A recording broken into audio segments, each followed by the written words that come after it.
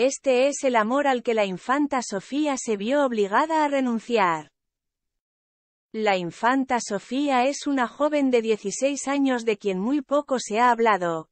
Como sabemos su posición dentro de la realeza no es tan protagónico como el de su hermana, la princesa Leonor, sin embargo, en esta ocasión nos enfocaremos en el sueño al que se vio obligada a renunciar.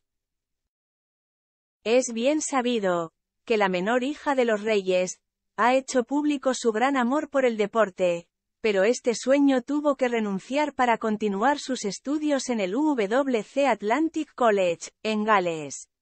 Sabemos que la reina Leticia, como cualquier madre, quiere lo mejor para sus hijas, por lo que le ha dicho que pause esta actividad, mientras termina su bachillerato.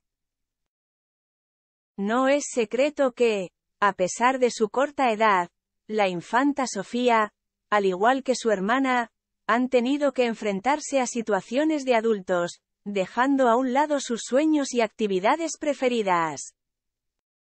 Sin embargo, no todo es malo para la Royal, ya que en su papel de representante de la corona ha podido asistir a importantes eventos deportivos como la final femenil de la Copa Mundial de la FIFA 2023. Pero lo que realmente desea la Benjamina es lucir un uniforme de su selección preferida y estar dentro de la cancha como cualquier chica normal, haciendo lo que le gusta.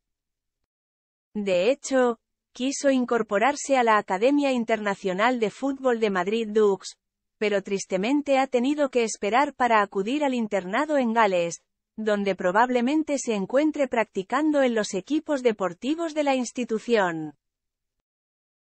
Vale recordar que esta afición por el deporte de Sofía, resulta ser una herencia de su padre, el rey Felipe, quien disfruta jugar soccer y también de su abuelo, el rey Juan Carlos.